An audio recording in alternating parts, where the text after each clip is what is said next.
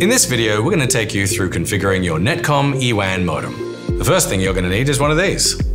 Make sure it's plugged into the wall and the power is on. You should see a solid green light for the power icon.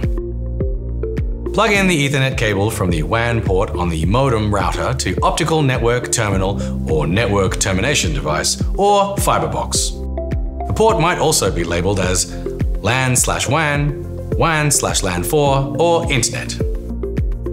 Underneath the modem is the SSID and Wi-Fi password. Use this to locate the Wi-Fi name on your computer and then join the network.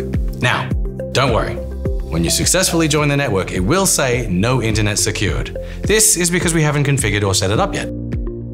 Open the internet, browse on your computer or phone, and type in 192.168.1.1.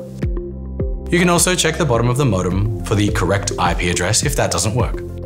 You'll be prompted for a username and password. Ready for it? Username in lowercase is admin. Password in lowercase is admin. You can also check the bottom of the modem. In fact, when in doubt, that's the best place to look. Once logged in, if this is a first time configuration for the modem, it will open this window. Select Yes, start the setup wizard. Now complete the following. Set Internet services to Ethernet WAN. Set connection type to dynamic IP. Leave VLAN unchecked or enter 0 only if it prompts you to enter a value and keep all other options blank. Click Next. You can personalize the Wi-Fi, VoIP, or many other settings of your modem as per your need in the next set of windows. Apply Next until you proceed to the summary window. Then click Finish and save the settings.